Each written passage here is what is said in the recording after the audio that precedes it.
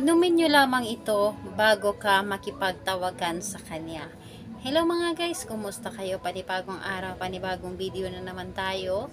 And sa araw na ito ay isa na namang video ang aking ituturo sa inyo na simpleng gabay o simpleng pamamaraan na makakatulong sa atin.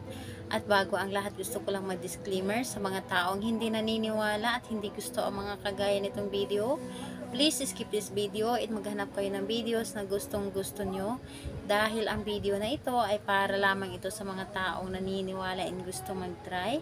At ngayon, ituturo ko sa inyo itong isang spell na inumin mo lamang bago ka makipagtawagan sa iyong uh, ka-video call or di kaya bago ka makipagkita sa iyong taong gusto mong ma- or makipag-meet ka sa isang tao or di kaya makipag-meet ka sa boyfriend mo, girlfriend, or sa crush mo. Pwede mo itong gawin sa kanya.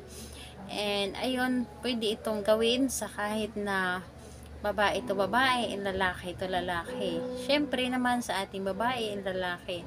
And pwede rin ito sa magkalapit at magka-LDR dahil may mga option tayo kaya pwede sa LDR and pwede sa magkalapit.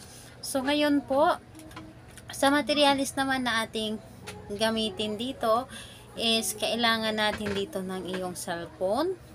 Cellphone para sa magka-LDR. So, kung kayo ay magka-LDR, so gumamit kayo ng cellphone. And isang basong tubig. At yung tubig kailangan na malinis. Yung tubig na naiinom dapat. And lagyan ito or kumuha ka ng kaunting asin lamang. So, yun po ang dapat nating ihanda sa ritual na ito.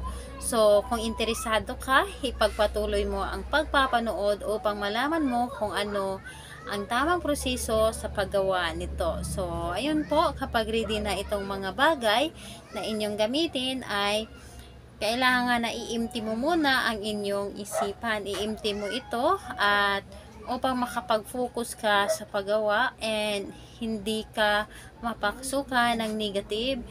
And ayun po dapat buo po ang inyong loob sa paggawa and buo din po ang inyong tiwala dito and paniniwala. So ayun kapag ready ka na ay pwede mo na itong umpisahan ang paggawa nito. So ang una-una nating gagawin dito ay napakasimple lamang Kapag nilagyan mo na ito ng tubig, so sa baso din pala dapat po ang baso na ito ay clear po tulad nito. Dapat ay clear yung nakikita yung tubig sa sa ano sa loob. Clear po dapat in babasagin. Huwag kang gumamit ng plastic dahil hindi po maganda ang plastic. So lagi ko po yung sinasabi sa inyo na kapag kailangan ng baso sa inyong paggawa dapat po ay babasigin. Huwag kayong gumamit ng plastic. So, ayun po. Kapag ready na, and nalagyan mo na ito ng tubig na malinis, and kumuha ka ng asin. Kunting asin lamang kahit isang dakot lamang ng asin at ilagay mo dito. Ilagay mo dito, dapat po ang pagkuha mo ng asin ay gamit po ang inyong daliri. Huwag po kayong gumamit ng kutsara. So, isang ano lang, isang dakot lamang ng asin at ilagay mo dito.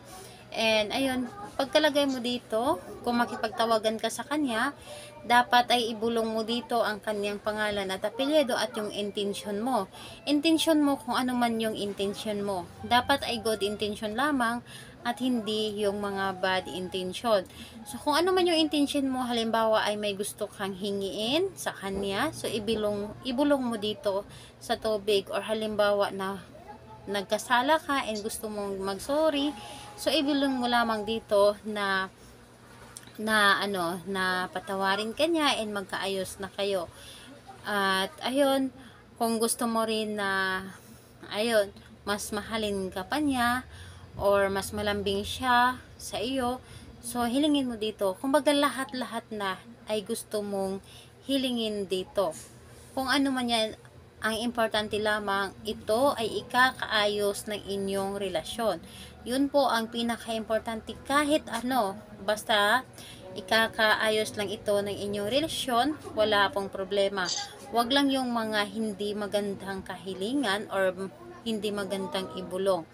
or di, pa, or di kaya makipag-meet ka sa kanya, magkikita kayo ng personal, bago ka umalis sa bahay, so kumuha ka muna ng tubig, ng malinis, lagyan ng kaunting asin, ibulong mo dito ang kanyang pangalan at yung intention mo, halimbawa ay maging maayos ang inyong pag-date, mag, maging maayos yung inyong pagkikita, inyong pag-uusapan.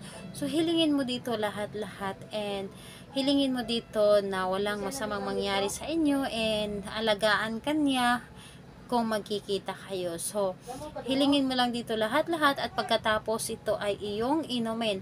Inting positive, umalis ka na masaya yung puso mo dahil alam mo na maganda ang mangyayari sa inyong lakad and ayun, ganun din naman sa sa ano, kung makipagtawagan ka sa kanya, bago ka tumawag sa kanya, so ganito ang inyong gagawin ay ibulong nyo lamang dito ang inyong mga intensyon at saka ka tumawag sa kanya. And kailangan na inumin nyo talaga, inubusin ninyo ang tubig na ito. Pero sa mga LDR, halimbawa ay makipagtawagan ka lang, ang gagawin mo, kunin mo ang iyong cellphone at ilagay mo lamang dito sa ibabaw ang ang baso. Ilagay, ilagay mo lamang dito sa ibabaw ng ano ng cellphone yung baso and sambitin mo yung pangalan niya at apelyido at yung intention mo kung ano man yung intention mo para sa kanya. Again po, importante ay maganda ang inyong intensyon sa kanya at hindi ito ikakasira sa inyong pag-uusap and maging maayos kung ano man yung pag-uusapan ninyo. Saka mo inumin yung tubig na ito at pagkatapos mong inumin ay tawagan mo na siya. And asahan mo na maganda yung pag-uusap ninyo kung ano man hiniling mo or ano man ang gusto mo ay matutupad ito.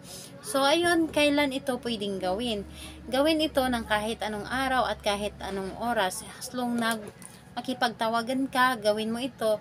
Kahit sa ilang sa isang araw, ilang beses mo siyang tawagan at gusto mong gawin ng uh, ganyan na uminom ka muna ng tubig or humiling ka sa tubig at inumin mo, pwedeng pwede po. Basta malakas yung vibration mo, gawin mo ito nang walang pagdududa sa iyong ginagawa. So, ayun, anytime po, any day, pwede mo siyang gawin. And kailangan na maniwala ka lang and wag mong hayaan na magiging negatibo kang tao kapag gumawa ka ng mga ganito. So, ayun po laging tatandaan ng ating mga ginagawang ritual. Huwag na wag po natin ito laging mamadaliin ang mabilisang talab. At mas lalong wag natin ito laging isipin kapag may ginawa tayo. At kung may mga katanungan kayo, i-comment nyo na lang sa baba upang ma-replyan ko kayo. Bye-bye everyone. God bless us all.